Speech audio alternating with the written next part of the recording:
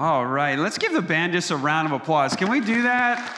Love what they do for us as we kind of usher into a conversation with God. You can see by the trailer there, our little sermon uh, bumper video is what we call it sometimes, that we are going to walk through a great journey as a church family, asking the question all of 2020 who is Jesus? How do we fill in that blank? Jesus is what? And so we're going to take kind of this slow walk with Jesus through the Gospel of John. We're going to actually finish the entire Gospel of John in one year. We're going to walk through it as a church every Sunday, walking through, asking the question, Who is Jesus? And so we're very excited about this opportunity. We think it's the best New Year's resolution that you can have is to say, I'm going to journey in God's Word.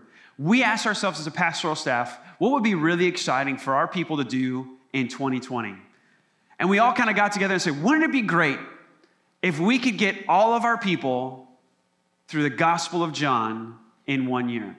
If we could kind of just slow things down and say, let's just journey on a kind of a slow walk, a stroll with Jesus, and really have an intimate conversation with Him and really understand His identity and the reality of who He is for us. This was such a good idea that I took it and I put it as a part of one of our family goals. That we as a family are going to walk through the Gospel of John. And one of my New Year's resolutions, my wife and I's New Year's resolution, is that we would teach our kids this year how to read their Bible on their own how to read their Bible on their own. My oldest are 10 and 8. We're not going to do it with the two year old and the two week old. We're going to wait a little bit on them. But the 10 year old and the 8 year old, we want to walk through the Gospel of John with them and teaching them here's how you can read the Bible on your own without mommy and without daddy, but just you, your Bible, and the Spirit of God. And so we're excited about that. We want to make it really easy on you. And so maybe you saw as you came in, as you walked up the stairs and you're on those landings there before you get into the front doors, there's these journals. These are Gospel of John journals. We bought a journal for everybody who comes to our church. So we want you to take one of these as either either as you are coming in or as you're leaving. We want you to take a Gospel of John journal. It's got the Gospel of John on one side and a journal on the other side, so you can uh, put entries in and do those things. So we're going to jump in to John chapter one, verses one through five. Now, before we get there, I just want to say thank you for being hospitable. Thank you for being a great church to our guest preachers. We had three guest preachers kind of come in. Well, one was internal, Pastor Steve, who did a great job. Uh, last week, we also had Pastor Curtis. Pastor Glenn, friends of mine that came in because we were waiting uh, for uh, Maddox to come, our fourth child, our third son, and he came, and he came in in a big way, and he, he was nine pounds uh, which uh, he already weighs more than me, uh, so that's great. Uh, but he is here and he is sleeping well. Mom is doing great. Uh, he is doing great. Kids are having a ton of fun. Uh, my, my youngest son, well, it used to be my youngest son, Dexter, he's still trying to figure out if he likes having a new baby around. So we could work with that, but he's two. He'll figure, he'll figure that out. So thank you. I just want to say thank you for being hospitable to those guest preachers. Let's just jump right in. John chapter 1 verse 1. And here's what I want to do. As we jump into this, I think John's going to ask a question, or he's going to answer a question. And I think this is the question. The question is Who will conquer the darkness?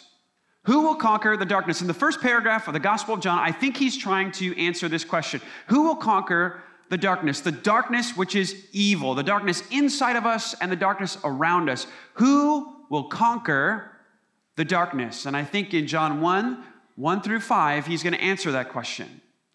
But let's just take that idea of darkness just for a moment. As you think of that, when you think of that word darkness, what comes to your mind? I'll tell you what comes to my mind. I was terrified, terrified of dark places as a kid. So when I hear the word darkness, there's a lot of emotion that is packed into that term. You see, when I was a really, really young kid, I had a very traumatic experience in a dark room. I was sleeping one day on my bed. I was sleeping in this very dark room, no nightlight, no nothing like that. And I was under the covers because that's how I liked to sleep. in the darkness with the cover over me. That's what I liked. Well, that night was different than any other night. My dad came into that room, not knowing that I was asleep and unaware that I was even in the bed. And he had been drinking pretty heavily that night. And he sat at the edge of the bed, and I felt the mattress kind of turn or shift a little bit as he sat on the corner of my bed. Again, totally unaware that I was there, totally unaware that I was sleeping. I was always a little guy, so me under the covers, you couldn't tell. And as he sat on the corner of the bed, he started to speak these thoughts, these depressing thoughts, these sad thoughts, these thoughts that made him come to the conclusion, at least verbally, that he should end his life. And I remember being under those covers, crying, sweating, but not wanting to make a movement, not wanting to say anything, not wanting to make a noise. I was terrified. I didn't understand how to, grapple with these kind of thoughts as a child that my dad was thinking about taking his life. Now, he eventually fell asleep, kind of right there where he was, never did anything with those thoughts, and I never even brought it up to him. But that traumatic experience scarred me when it came to dark places. A couple years later, had a bad dream and I remember waking up and I was at my mom's house and I remember standing at the door of my bedroom. And in my bedroom, the lights were on because at that point I couldn't sleep with the lights off. But I stared down the hallway, the kind of corridor in our apartment. I stared down the hallway into the living room, and the living room was completely black and dark. I remember standing there at the doorway, looking down this dark hallway, and I was paralyzed. Just paralyzed in fear. And I want to run to my mom's room. That was the escape that I thought, but I was paralyzed by fear because I was afraid if I made any movement, that I would awaken whatever was in the darkness. that I would cause whatever that, that person or that thing to chase after me. And I just stood there in fear, unable to move. Now, maybe when you think of darkness, you don't think of those things. You don't think of being afraid of a dark room as a kid. But I want you to entertain this idea. I think all of us, in a sense, are like me when I was a boy, standing at the doorway of a room, looking down a dark hallway. I think, in a sense, we're all doing that. I think the hallway is our life. And at the end is darkness. At the end is death. And not just death, but what happens after death? Not just the ending of our lives, our hearts stop beating, our brains stop working, but what happens at the end of life? Is there a reckoning for the life that we lived, a judgment for the life that we lived, an assessment of what we've done, good or bad? In a sense, all of us look down that hallway. And the further we look down to the end of our life, we see darkness. Not only will what I know end, but I'm not certain what will happen even after that end.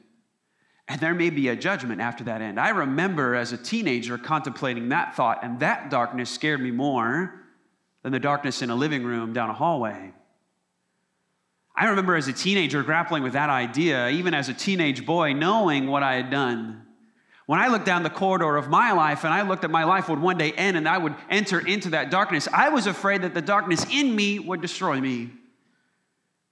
Because I knew there would be a day of reckoning. I knew there would be a day of judgment. Even before I ever even went into a church, I knew there would be some sense of judgment and accounting for what I've done. And I was paralyzed by that fear, just like I did when I was a young boy standing in the hallway looking down into the dark living room. When I looked past the end of my life, I thought to myself, if there is a judgment, I'm not going to pass. It's not going to be in my favor. I think, in a sense, we all think about that. And I think what John is going to do for us in John chapter 1, verses 1 through 5, is he's going to speak to that kind of darkness, the darkness in us, the darkness around us, and he's going to try to answer the question who will conquer that darkness? And the answer to that question is the big idea for this morning. So take the pen out of the seat back in front of you, find that spot in your bulletin, or if you do have your journal, you can write it in there as well. Here's the answer to that question Who will conquer the darkness? The Creator is the conqueror. The Creator is the conqueror. Jesus Christ, the Creator, is the conqueror of that darkness. Let me show you this. John chapter 1, starting with verse 1. Let's read together. In the beginning was the Word and the Word was with God, and the Word was God. He was in the beginning with God. All things were made through him, and without him, not anything made was made. In him was life, and that life was the light of men. The light shines in the darkness, and the darkness has not overcome it. So let's just start with verse 1 and let's just kind of walk through this. Let me show you first how he says that Jesus Christ is the creator God. Then he'll move to the idea this creator God is the conqueror, the conqueror of darkness. But let's just start with verse 1. Let me show you how he says that Jesus is the creator, creator God. First, he says, In the beginning was the Word. Now, if you've read the Bible before, if you've read especially the first chapter of the Bible, Genesis chapter 1. When you read this, you may insert a different word. In the beginning, God created the heavens and the earth. That's how the Bible starts. But John, this devout Jew, one who knew the Old Testament probably frontwards and backwards, would memorize it, would sing it as a way to memorize it in Judaism. He changes the script. It's almost like if we were to take a, an anthem or a song that we all love and we were to change the word. That's essentially what's happening here. The first century Jewish reader would read this and say, wait, you changed a word here. That's not how the song goes. That's not how the lyric goes. That's not how the scriptures go. He doesn't say in the beginning God, he inserts, inserts a new character. In the beginning was the Word. Well, who's this word? Is he talking about just God speaking? We do see that in Genesis chapter 1. God speaks things into creation. He's so incredibly powerful. We don't see God exerting himself, kind of molding creation with his hands in a sense, but he just speaks. He vocalizes kind of the most simplest thing that we can do that exerts the least amount of effort. God does. And what does he do? The most powerful thing. He speaks and everything happens. Is that what it's talking about? Is it talking about in the beginning God spoke? No, it's not what he's talking about. He's not talking about an action, he's talking about a person. You could see just if you jump down to verse 14.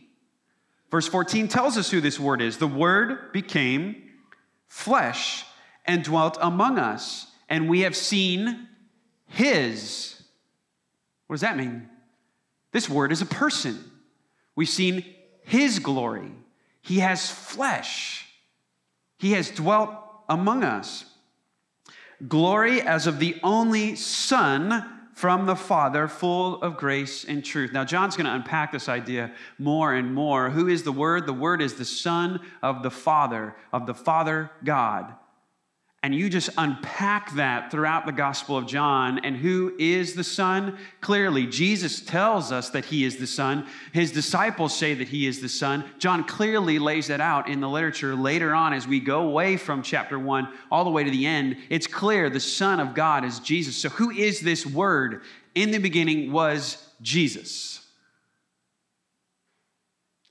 Look at this as he continues on. In the beginning was Jesus, the Word, and the Word was with God. Now, stop right there. You can circle that word with. In the beginning was the Word, and the Word was with God. Now, what is he saying is that Jesus was here with God, he was, he was next to God. But this, this idea of with doesn't mean just he, he was distinct and in company with God.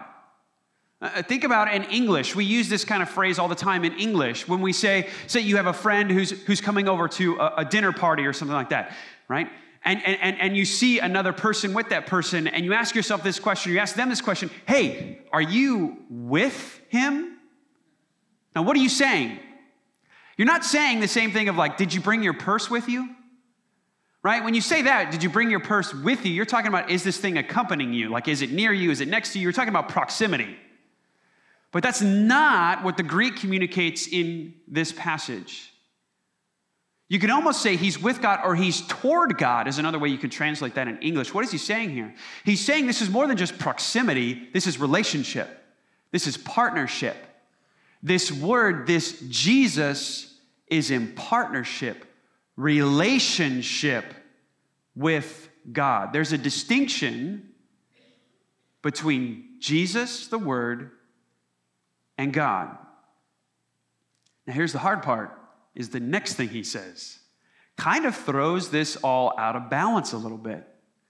Okay, the word was with God. What else does it say? Look at the next phrase. And the word was God. Wait a second. How does that work? Go back to that same illustration. You bring a friend to the party. Your friend comes up to you and says, Are you with him and are you was him? are you is him? No, are you him? How are you would make that work grammatically? It's hard for us to conceive of that kind of idea. How can there be distinction, I'm with you, and yet unity at the same time? How can the word be with God and God at the same time? It's a very complex idea. And here's the answer I don't know. I don't know. And we shouldn't be surprised, but the Bible actually does this several times. The Bible kind of gives us a framework, if you will. It says, hey, this part is true, this part is true, this part is true, and this part is true. Let me give you the boundaries of what's true. Now, the answer lies within those boundaries. But I can't fully explain what's inside of those boundaries. I can just tell you where the boundaries are. Now, think about this for a moment.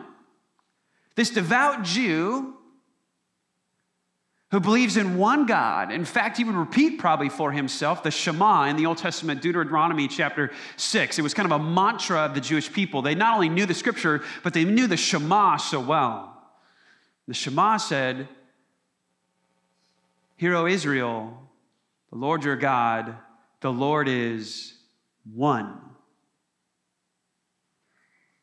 In fact, we know that the Jewish people used to despise and criticize the Romans for believing in many gods. It's kind of this pantheon of gods, this polytheism, this all assortment of gods. They used to look down on that. And yet we have this devout Jew who, at the center of his religious activity, believes that there is one God, despises those who believe in many gods, and yet he asserts this statement right here the Word was with God and the Word was God. How does that work? It's hard to understand. But when we unpack this passage and several other passages in the Bible, here's what we realize that there is distinction in God and unity in God at the same time. This would later be called the idea of the Trinity. Trinity meaning three, right? Or, or, or tri meaning three, and unity meaning, well, meaning unity, right? Trinity, tri-unity. One God but three persons, three distinct persons Father, Son, and Holy Spirit. He is calling Jesus God here very clearly. And this isn't the first time John will do this. Just look down at verse 18. Verse 18 of John chapter 1, he does the same thing. Verse 18 says this, and no one has ever seen God. Okay, just look at this sentence here. Very complex sentence here. No one has ever seen God. The only God who is at the Father's side has made him known. Uh, let's just read that again. Don't miss the complexity of the sentence here. No one has ever seen God. There's a stop there. The only God who is at the Father's side, he has made him known. What did he just say? God has made God known. God the Father has been made known by the one who is at his side, God the Son. We would see later at the end of the Gospel of John, after the resurrection of Jesus Christ, one of his disciples, Thomas, would look at Jesus and he would say, My Lord, my God. Yes, it is complex and it's hard to understand. God exists in a way that we don't exist. But isn't that how he should exist? If God can be explained in your mind, you know what that means? He's a creation of your mind. If all the complexity of God can be contained in your mind, then he's probably a fabrication of that mind. If he fits in here, that's where he started. But if God is real, the creator of the universe who exists beyond space, time, and reality as we know it, is not made up of particles or matters or atoms or molecules or quasars or quarks and all that other stuff that makes up matter, right? If he is before all that, before time, before space, before matter, before all that, wouldn't he exist in a plane and in a realm and in a way that is beyond us? So, is it surprising to us that he would exist in a way that stretches our mind? That when he comes to us and says, Let me explain my existence, it's Trinity, it's tri unity, it's one God, three persons. Yeah, you're not like that. But that's how I am. And scripture just asks us to do this we need to submit to the mystery that there's one God, three persons. Jesus is one of those divine persons. Now, look at what he says after this. I mean, this is, a, this is a pretty strong statement here. Jesus is God. And then the next thing he says is, Let me show you that he is God. He does the primary act of God. You look at any concept of any religion, if you look at the primary activity of their God, what is it? It's creation. They started all this stuff, right? They began this work. This is exactly what he assigns to Jesus, who he's just called God. Look at verse 2. He was in the beginning with God. And all things were made through him, and without him was not anything made that was made. A very redundant sentence is verse 3. Look at it again, the first part. All things were made through him. He says it positively there. He made everything, he is the creator. Then he says it in a negative way, right? It gets a little confusing. It's like that double negative. Look what he says. Without him was not anything made that was made. What is he saying there? There is nothing that has madeness that he didn't make. I know that sounds really strange. What is he trying to communicate here? Everything made. Not a single thing that was made was made apart from him. But what does that tell us about Jesus then? Jesus wasn't made.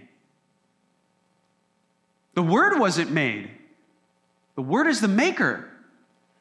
He said, All the list of the things that were created, all the list of the made things is right here. In fact, everything on this list was made by Him. It's interesting, even if we look through this passage, the words that are used for Jesus, the Word, and the words that are used for everything else. Look at them again. Let's just start with verse 1. Look at this contrast here. Different verbs, different actions, different kind of concepts are used. He says in verse 1 In the beginning was the Word, and the Word was with God, and the Word was God. It's a statement of existence. But when he talks about everything else, he doesn't use that word was, he uses a different word. He was in the beginning with God. All things were made through him, and without him was not anything made that was made. If you even look at verse 10. He was in the world, and the world was made through him. What is he doing here? He wants to separate in our minds Jesus, the Word, and everything else. Everything else was made. Jesus always was. Jesus does this when he's talking to uh, a crowd in John chapter 8, verse 58. He speaks to the crowd and he says, Before Abraham was, and it's that same word that's used for made here, usually translated as born. Before Abraham was born, before Abraham was made, Jesus says this word Before Abraham was, I am. What is Jesus saying? I'm not like everything else. I was not made like all of creation. I was not born like Abraham. I was. I always have been. There's never been a time where I was not. In fact, everything that is or that came into being came into being through me. Verses 1 through 3 make it very clear who is Jesus? He's God. How powerful is he? As powerful as God. Now, John's going to get really practical here. Okay, Jesus, this word, this creator, how does that impact me though? Because creation got spoiled, got ruined. Doesn't take very long when you're reading the Bible. In fact, only two chapters. the story is good for two chapters, and then it turns. Genesis 1, Genesis 2. Yay. Genesis 3, bam, sin enters in, darkness enters in. The great, powerful, good God created good, a good world with good people, and then sin came in and spoiled it and has made now a dark world, a spoiled world a people with darkness in them, enslaved to darkness, as the scripture would describe it. And as John unpacks it later, not only in this gospel, but also in the letter that he would write to his church, there's been this battle, this kind of cosmic battle, not between equal forces, but yes, between two opposing forces of light and darkness. And he says, Let me tell you the character I've just introduced, this word, this God who created all things, Jesus, is going to come in and fix this. The creator will be the conqueror. Look at verse 4. In him, this is the word, this is Jesus, was life, and that life was the light of man. I love this about John. And you're going to see this as we walk through John. John is a master of wordplay. He picks the right words that just have a very full meaning to them. Just think for a moment. He just brought in two ideas. This creator is the one who brought life and brings light. If you go back to Genesis 1, these concepts are right there. The creation of all living things, that's life. God speaking light into a dark universe, God creating the stars, God creating the sun, God moving the sky so that sun could fall on the land, all of those things. I think John is kind of having two meanings here, or maybe, maybe a very full meaning here. He's saying there's something physical that Jesus, yes, brought life in all creatures and living things, anything that moves and breathes, that's because of him. Yes, there is light. Now we can see these things. Essential to life is light. But I think he's speaking on a deeper level. And we'll see this as we walk through the Gospel of John that when he mentions life and light, he's not just talking about something physical, he's talking about something spiritual. He's talking about how Jesus has come in as the light of the world. And what does that mean? It means he's shown us the way. He's cleared up the path. Getting to God was, was a path that was darkened. We did not know how to get there. We did not know where it was. Our GPS wouldn't work. But Jesus come and he is light and he says, Here's the path. Let me show you it. And at the end of that path is what? It's not just physical life, it's not just a heart beating and a brain working, but it's a soul thriving. It's body and soul together, reunited in resurrection life, life without death or decay, life without sadness or brokenness or disunion from God, but it is a beautiful resurrection life with God forever, proper relationship and perfect union. You see that deeper meaning that he's put there? Well, how is he going to get us there? That's verse 5. He must conquer the darkness. Verse 5 says, The Creator God comes in this powerful word. It says, verse 5, the light shines in the darkness and the darkness has not overcome it. Now, again, I think John, beautiful wordplay, beautiful author that he is, when he speaks of darkness, again, he has a deeper meaning. He's not just talking about the darkness, the absence of light, or something like that. He's not talking about the darkness of creation before God brought light in. He's not just talking about that. When John unpacks darkness throughout his gospel, He's not talking about the absence of light, he's talking about positive evil. That we do dark things. John even expands it from that and says it's almost the environment that we live in. It's not just darkness in us, it's not just dark deeds done by us, but darkness is the world we live in. We are saturated in darkness. Everything is affected by this darkness. It sticks to everything, it has spoiled everything. It's the smell, if you will, that is on everything. Everything is touched by this darkness. And who can overcome it? Who can conquer it? Who can settle it? It's permeated everything, penetrated everywhere. The Bible would say it's gotten so deep, it's gotten to the core of who we are, which the Bible would use the word heart. That darkness has gone all the way to our heart. Just think of that for a moment. Darkness is not a symptom of the flu that you can medicate. It's not that we have an illness or we have a cough, sniffles, Right? You can take medication over the counter. You could almost kind of be your own doctor, right? Well, I, I know what to get when I have a cough. I know what to get when I have the sniffles. I know what to get when I have congestion. I know what to get when I have those things. But there's a whole nother level when your heart has a condition. When your doctor comes to you and says, no, Robitussin and NyQuil, that's not going to do, friend. Your disease is a heart disease. At the core of who you are, center of who you are, the most essential organ in your body, maybe second to the brain, is not working. It's infected. It is dying. That's a point where we say, What? Who's going to come in? I, I, I need a surgeon. I need somebody with more power, more smarts, more skills than me. This is exactly what the Bible describes.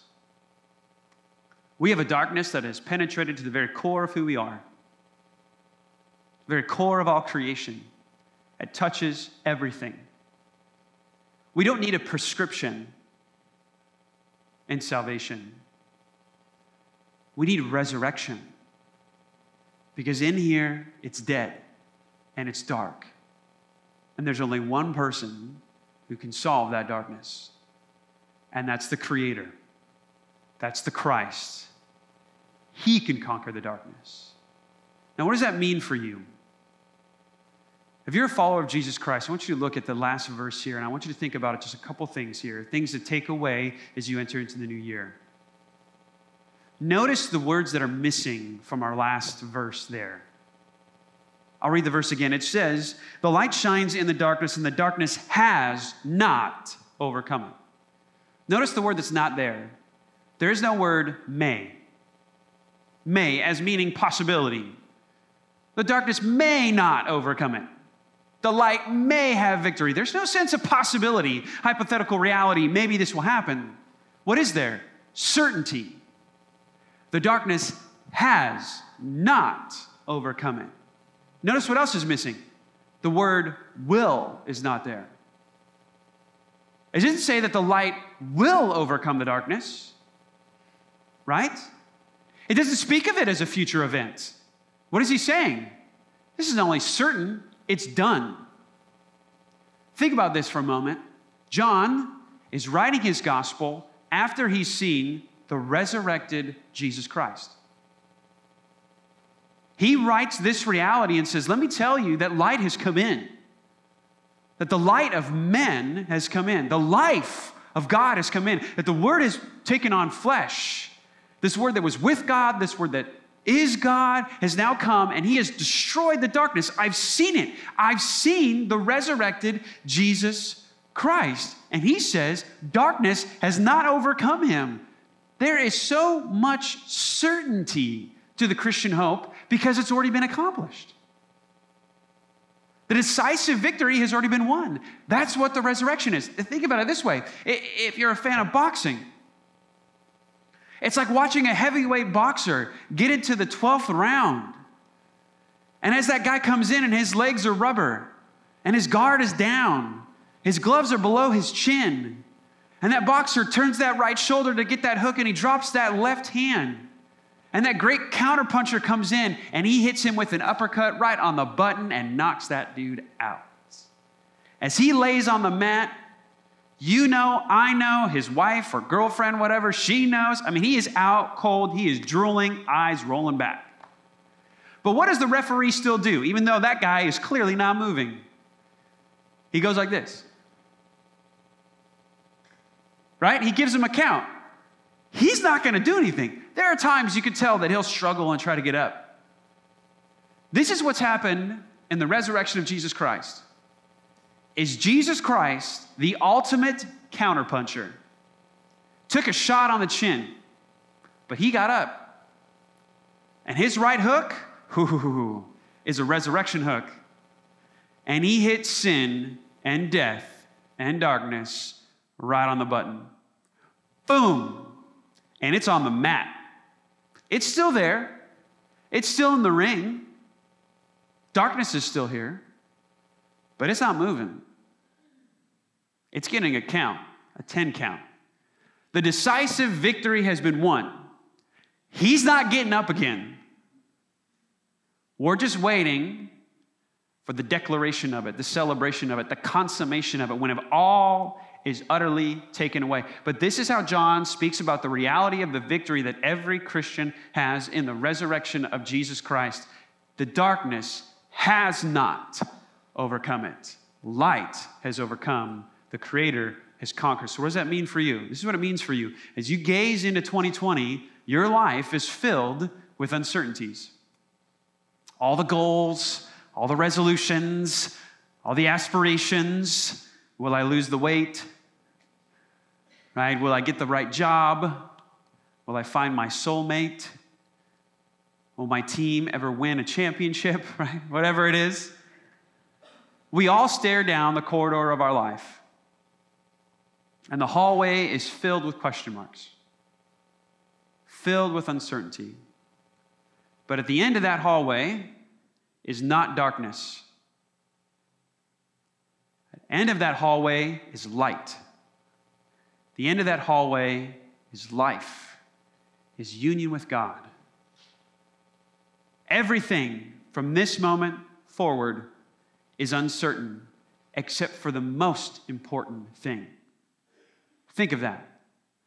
The most important future event of your life is certain, is strong, is concrete, is anchored. That frees you from so much anxiety, so much worry, so much fear. And I know you've experienced it. I've experienced it. As I've looked at how we did on our New Year's resolutions, and I look about our new New Year's resolutions, that future's uncertain. There's question marks. But knowing that the end of the hallway is not darkness, but light, means that we don't have to cower at the hallway, paralyzed in fear of what's coming. No, we can be freed because we know what's coming. Now, if you're not yet a follower of Jesus Christ, if you're curious about Jesus and you're here, and I, I hope you, you feel our hospitality for you, we do that because we believe it's important. I champion that because that's how church was for me. Before I ever started following Jesus, I went to church because I had so many questions and I was so curious about Jesus. I didn't believe everything they believed right away. I didn't. I was very skeptical, but I came because I had questions. So if that's you, let me just speak to you for a moment. I think you would agree with me that we're all going to die. There's an end to the hallway, right? But maybe we don't agree on this point that there will be a judgment after that end. But I think if we're fair, I don't think you could say that you're certain that there won't be a judgment. I think fairly you would have to say, well, there may be a judgment. Well, let's just entertain that for a moment. If there is a judgment, just ask yourself how do you think you'll fare? Do you think the verdict will be satisfying? Or does it scare you? I'll be honest, it scared me. That's why I came to church. Because I knew the darkness in me. And I knew if there was a reckoning, a day of judgment, and I stood before God, that I would not win, I would lose. That I would not be found innocent, but I would be found guilty. I hope that you see that yes, the Bible does paint a very clear picture of judgment, but it also paints an extremely compassionate and merciful picture of salvation. That that creator is also the conqueror. And the only one who can change that judgment at the end is Jesus Christ. And my hope and my prayer for you is that you would continue to journey with us as we unpack who Jesus is. I don't want to rush you into any decision, but I want to invite you to slowly walk with us. If you're curious, slowly walk with us as we investigate this Jesus. Church family, will you pray with me? Let's pray. Father, we love you and we thank you for who you are to us in Jesus Christ. We thank you that you have come in and you've spoken into the darkness of our lives and you have spoken in a way that is piercing light, Lord.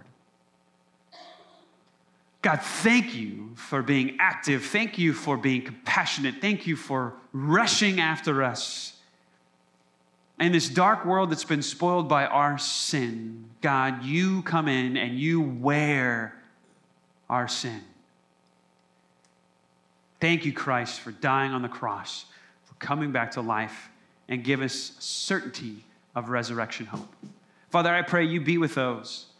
God, those who are looking out at the new year, who are looking into the future, and they feel a sense of uncertainty, God, I pray that you would calm their heart, that you would calm their spirit, God, that you'd free them from worry. God, we know that there are still question marks as we look forward in the future, but God, knowing that the most important event of the future is certain, God, I pray that you would help those, help those, God, who are following you to have that certainty and release that anxiety in them as they enter into a new year. And God, for those that are here and they're curious, they're still exploring the things of God, God, I pray you meet them. God, I pray that you would pique their curiosity for you. God, I pray that they would journey with us on a slow walk with Jesus and just continue to ask that question Who is He? Who is Jesus to me? It's in Christ's name I pray. Amen. Well, we believe this church that every conversation with God needs to end on a high note of celebration. So we're going to sing about the hope that we have in Jesus Christ. So, church family, I want to invite you to stand with me and let's sing and let's celebrate the God who destroyed darkness, who speaks into our darkness that is in us and around us, and with piercing light gives us wonderful hope. Church family, let's sing one more time.